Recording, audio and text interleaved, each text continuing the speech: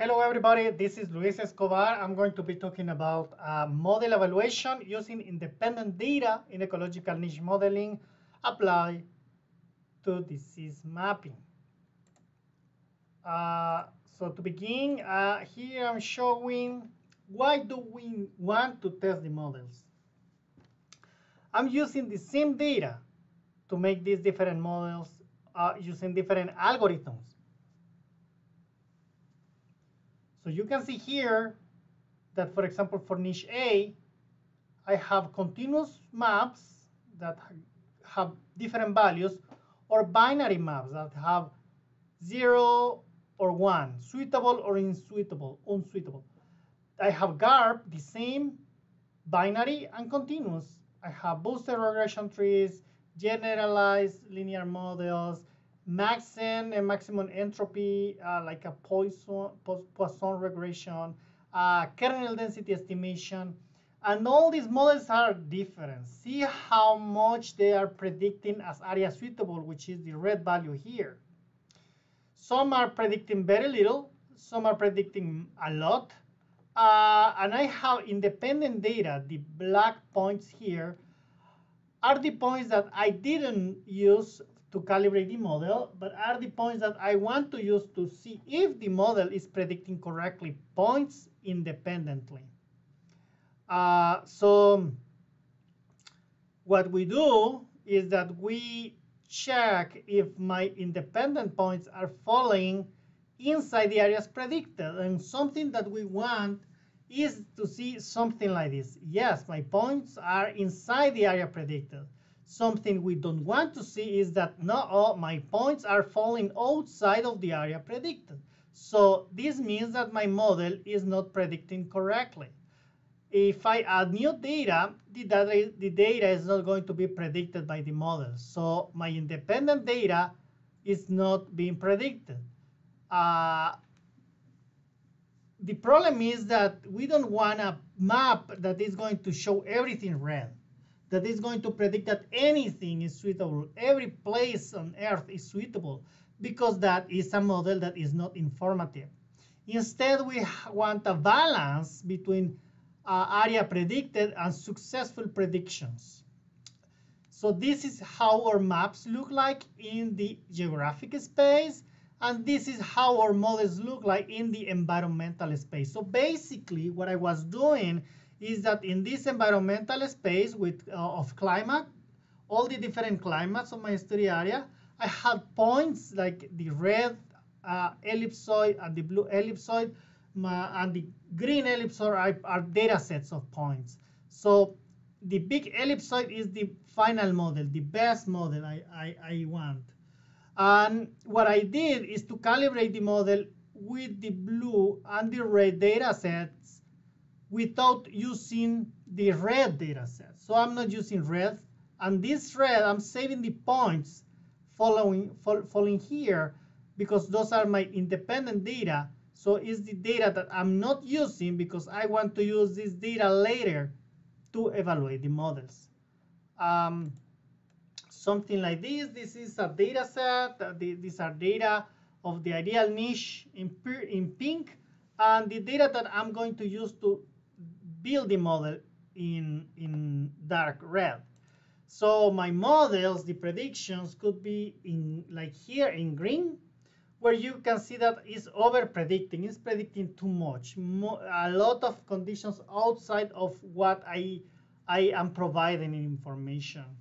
There are other models that are like this, that they are overfitting more, they are predicting areas that resemble the data, the original data set.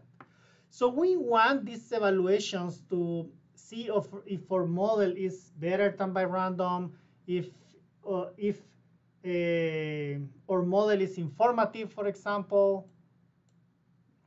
So again, I'm going to keep this study uh, in Chile, uh, in an area of south of Chile that has a lot of uh, environmental variation I have some points in this locality, more points here, and then I make my model with two algorithms. One is maxent, and I have a continuous map going from 0 to 1. And then I have niche A that has uh, uh, also a continuous maps going from 1 to 100. So here I have two maps from two models using the same points, the same red po green points that I show here are the points that I was using to build both models. I was also using the same climatic variables. The problem is that the, the two models seem to be very different. The, the, reds, the red colors are in different places. Also, the values are different. The, the, the probabilities or suitabilities values uh, have a different range. I can even have another map like this that is binary, present or absent of suitability. So in this case, we need metrics to see which model is working correctly. So we take the information from the geography, we calibrate the model in terms of rain and temperature, and we build our model like this. This is a continuous model in the environmental space in areas that are highly suitable and then less suitable going to the edges. I could project this model to the geography, for example, a binary model to find what is suitable versus what is not suitable. And I can have a good model like this one. See that in my study area, the independent points that I did not use to calibrate the model are being predicted fairly well. There is this area here that the model is predicting where I don't have data, but that's fine. And there is one point that my model is not predicting. So considering the amount of the study area and that my model is focused here in predicting these points and that the most of the points were predicted, predicted, I believe that this model is better than by random. So my model is actually telling me where I'm going to find the species or the disease or, or, or, or, or the individuals I'm investigating. So let's see more, more, more uh, examples of this. So I have my independent data set. This data I did not use to calibrate my model. I run my model and it's a good model because it's predicting very well. It's not predicting absolutely everything. And my points, the points that I was saving uh, for the evaluation because I didn't use these points to calibrate the model are being predicting correctly. Uh, so this is also a, an example of a good model, a good prediction. Here I have even more area predicted. Here there was a, an overfit. There was a, a very tight uh, uh, representation of area suitable that accurately accurately predict the points. And even predict this other point here. So I have no failures here. Here I have only one failure, but in general, a fair prediction this is a bad model because I predict only one of the 10 points in, an, in, an, in the whole study area. And this is also a bad model because, yes, I'm predicting everything. But the fact that I'm predicting uh, in excess means that I'm not gaining much information. I have these other scenarios, like here, where I'm, my model is predicting exactly uh, the localities where my evaluation points um, are happening. Uh, so this is a, an excellent model uh, that tells me where I should go to find my pathogen or my parasite.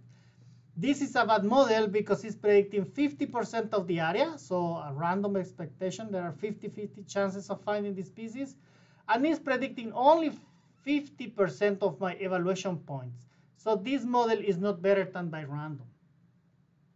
Here I have a good model because I'm predicting most of the um, study evaluation points without covering the entire area. And this is a bad model because I am predicting only one of 10 points, so 1% of success, and covering 50% of my study area. So we take this information like the number of uh, points predicted correctly, and the number of points, the evaluation points I had in total, and the proportion of the area that was predicted suitable. And with that, we can generate the p-value for my uh, uh, project, for my model.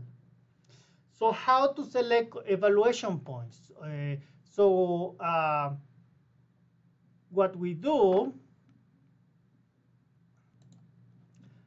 So what I do is that I divide my points. These are all the points I have for my disease. These are cases of rabies.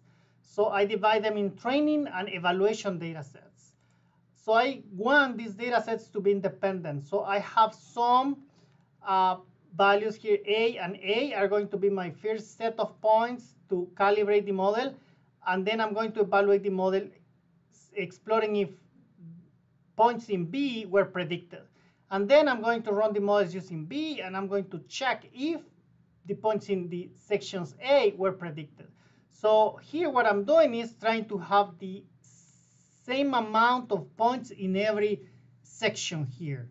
The same 25%, 25%, 25%, and 25%. So I have a fair amount of a similar um, amount of information to, to compare.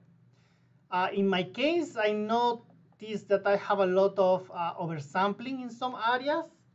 Here I have high density of points. If I do a zoom in, I see something like this. All my points are in green. So I do a filtering process where I, I ask uh, my model to have only one point per pixel, per environmental pixel.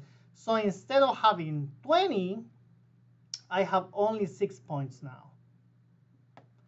So I'm not losing information. The environmental information is still here.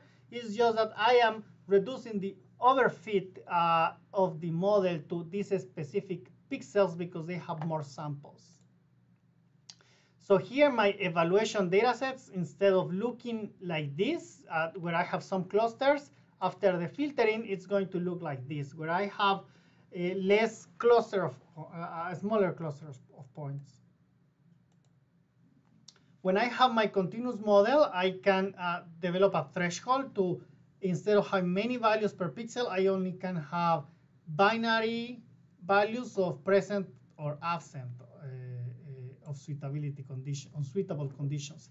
So there are four types of results when we are running these models. And this is that, for example, my uh, model here in blue is trying to predict the distribution of a species in gray. Uh, so I can have a information of the points. Maybe I have points that are uh, the presence, the known presence and the known absence of my species. For example, I know that outside the gray areas, my species is absent, and I know that my species is present in the gray areas. So here, the points that uh, fall inside the, the model, the distribution model, are true presence, correct predictions. And then outside, outside my model are going to be false, false positive um, because I'm failing to predict them. And then if I correctly identify the areas where my species is not present, I true I call them true negative uh, results. But if I'm predicting that the species is in one place where it actually is not, then that's uh, an error also. It's a false negative. So we can summarize that here where we have comparison of when my species is present or absent. And we can develop um, this analysis to see the amount of false negative and false positives we have.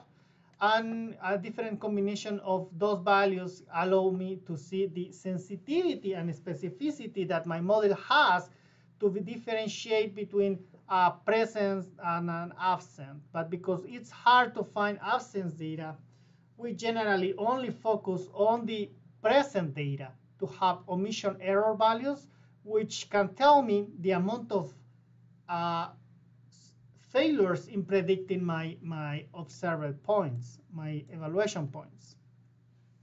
So there is another test, the partial ROC test, that uses uh, continuous values of suitability, like areas with high suitability that are in red, and low suitability that are in, in blue here or in gray here.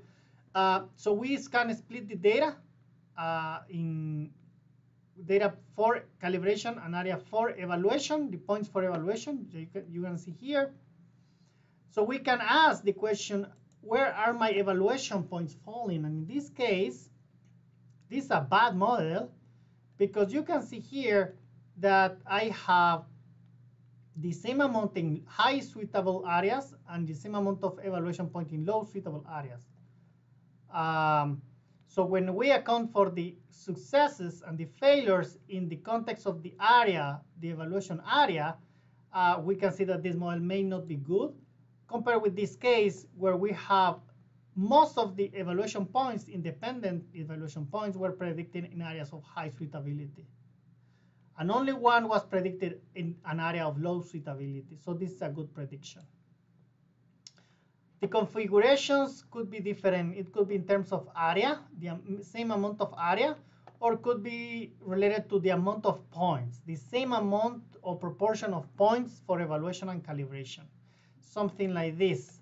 Here, I'm using the same area uh, for every uh, area of calibration, calibration, calibration, calibration, to check the areas of evaluation. And here, I'm uh, not taking into account area, I'm taking into account uh, the amount of points.